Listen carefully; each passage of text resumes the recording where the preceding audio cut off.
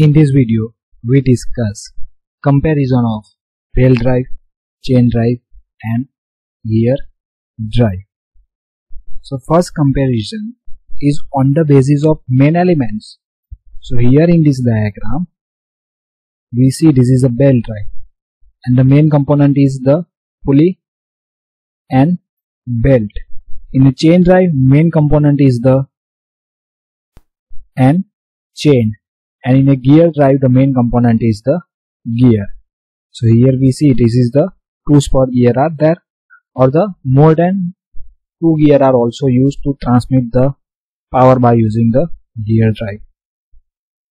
Second point on the basis of slip so in a belt drive slip may occur. Slip means the driver pulley is rotate but our belt is not rotated it is called as the slip so due to the slip what happen? The velocity ratio is not remains constant. So velocity ratio is change. In a chain drive, no slip is occur. So here we use the sprockets and in the sprocket the teeth are there. So there is a no chances of the slip and due to the no chances of slip it is also called as the positive drive and the belt drive is called as the negative drive. Gear drive there is a no chances of slip so here we mention no slip the gear drive is also called as the positive drive. Belt drive is suitable for large center distance. Means when the center distance between this driving and driven shaft is larger at that time we use the belt drive. Suitability of the chain drive is for the moderate center distance up to the 3 meters. So from this point to this point the center distance is less than 3 meters or a 3 meter at that time we use the chain drives. When gear drive is used, gear drive is used where the center distance is very short. So here we see that is a center distance. So when the center distance is very short at that time we use the gear drives. For a belt drive the space required is larger this space required point is related to suitability.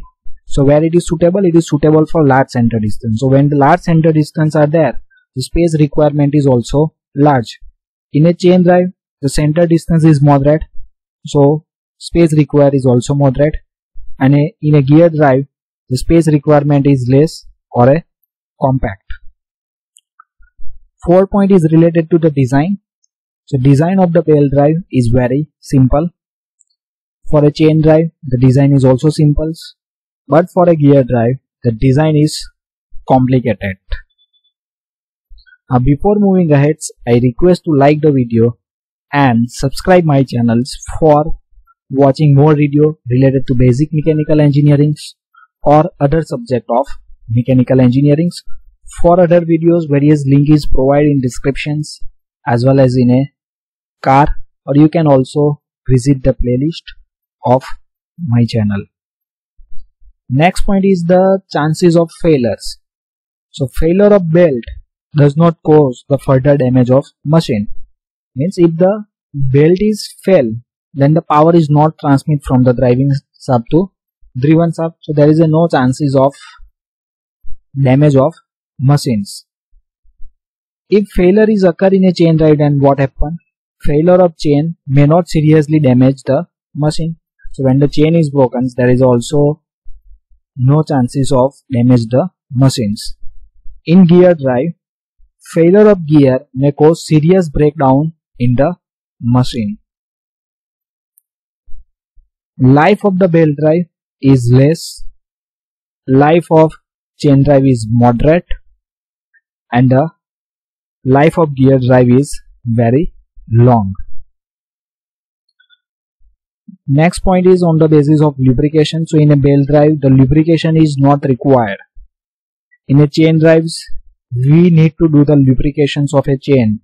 The chain drive is used in our bicycles or in motorcycles. So we know that we need to do the lubrications of this chain drive after some interval of times. In a gear drives, the lubrication is required. So it is required proper lubrications. So gear drive need continuous lubrications. So this gearbox have required the special lubrication system. Installation cost for the belt drive is less. Installation of a chain drive is moderate and installation of the gear drive is more because the price of the gear is higher compared to the belt drive and compared to the chain. Now belt drive is used for low velocity ratio. Means the driving pulley and driven pulley are there. And the diameter of the driving and driven pulley are different. At that time the velocity ratio is different. So belt drive is used for low velocity ratio. Chain drive is used for moderate velocity ratio. And gear drive is used for very high velocity ratio. So here how we can remember these various points? So in a chain drive we can see all the point is contained the moderate. Here center distance is moderate. Space required is moderate. Life is moderate. Installation cost is moderate. Uses is uh, uses for the moderate velocity ratio. So moderate word is related to this chain drive.